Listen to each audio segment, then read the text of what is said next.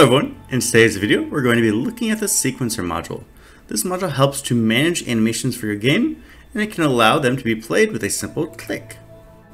It also works to connect these animations in a series which can create some very spectacular effects. We're going to start off today's video looking at the player's view as the GM creates effects for them to see.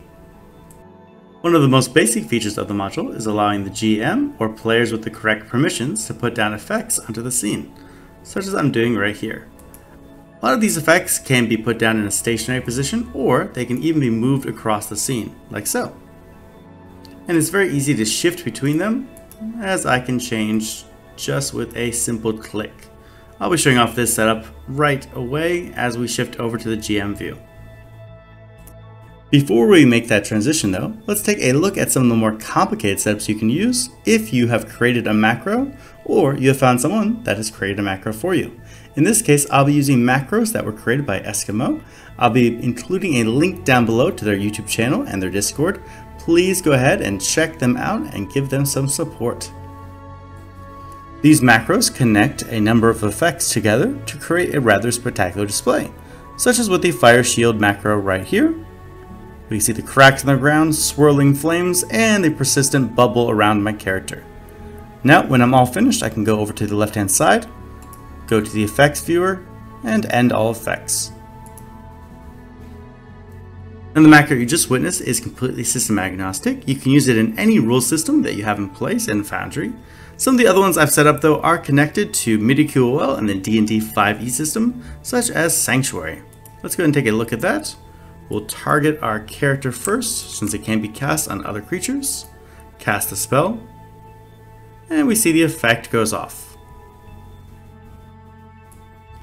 With the player view out of the way, let's go ahead and jump over to the GM view, take a look at the basic features of Sequencer, and then jump into some of the more complicated areas of macros.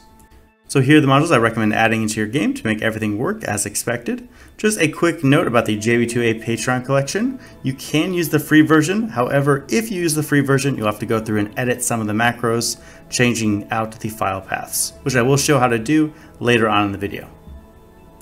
So as we saw earlier, one of the most basic features of the module is the ability to play effects on the scene. We can access that in the viewer right here. And we're going to go to the player, and in this case, I want to play a whirlwind effect, which I can just select which one I want.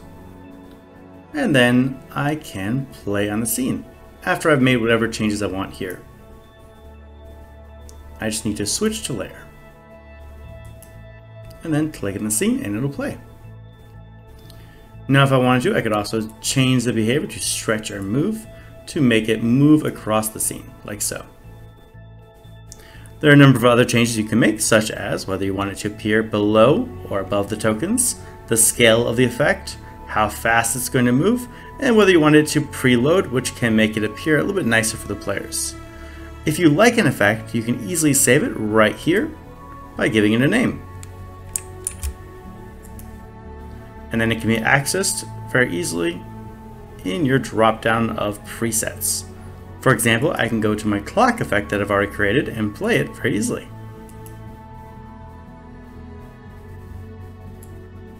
In addition to the sequencer player and manager, we also have the sequencer database.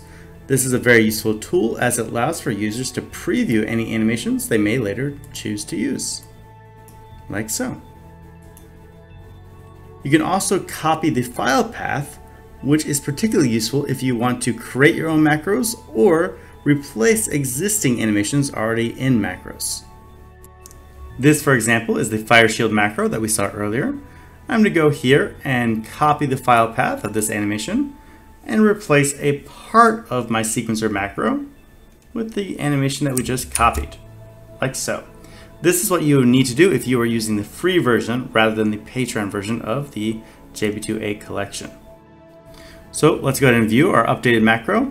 Make sure you set your macro to script, by the way, and not chat. Okay, and execute. We can see some of the same effects we saw earlier, but we have that new animation that we just copied in. As mentioned earlier, I did not create any of these macros. They were created by EskieMoh. Please give them the credit as well as please support their YouTube channel and visit their Discord. I'll be including a link down below to both. So in their Discord, you can go to Foundry Macros, the pinned messages, jump, and then scroll down from there, and grab whichever macro you want to use. When you grab a macro, make sure you download it and then copy it from there, rather than trying to copy it from Discord. The reason being because sometimes Discord shortens it down and you won't actually have all of the lines of code, and it just won't work. After you download a file, it's simple enough to open it up in Notepad, Control A, Control C, and then back to Foundry.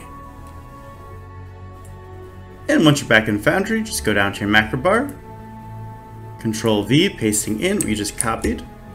You'll probably want to give it a name to identify it. In this case, I'm just going to name it jump and change it from chat to script. You could of course give it a new icon as well. Now, this macro here, it is just the effect, so it is completely system agnostic. We're going to take a look at how we set up the other macros that were connected to D&D 5e spells using the item macro module and MIDI-QOL.